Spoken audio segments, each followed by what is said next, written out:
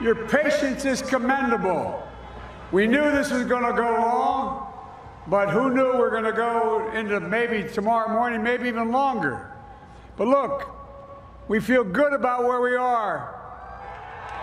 We really do.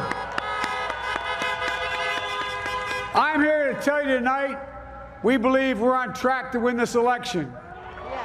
We knew because of the unprecedented early vote and the mail-in vote that it going to take a while.